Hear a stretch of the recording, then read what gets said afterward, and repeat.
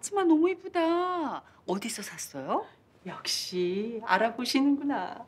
청담동 디자이너 앙투앙 쉐르한테 특별 맞춤 주문했죠. 어머, 어쩐지 엘레강스한 게 골저스하더라.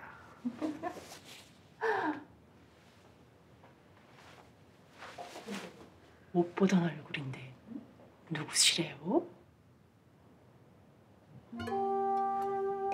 왜요? 낯선 분이에요?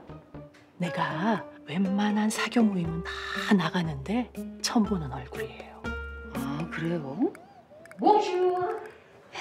여러분 반가워요. 샤클럿의 쿠킹 클래스에 오신 것을 환영합니다. 저는 파리에 위치한 5성급 호텔 몽마르트에서 셰프로 근무한 경력이 있는 샤클럿입니다. 앞으로 여러분들과 품격 있는 프랑스 요리 함께 해볼까 해요. 자, 그럼 아, 수업 분위기에 맞춰서 우리도 프랑스 이름을 사용해 현지 분위기를 한번 느껴봅시다.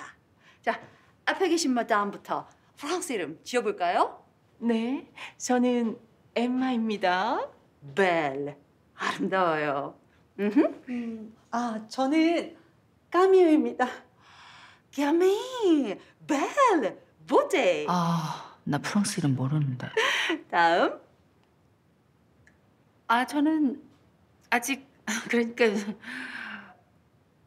아, 아, 어, 아직 생각이 안 나시나 본데 그럼 조금 있다가 어, 다시 물어보기로 하고 어, 마담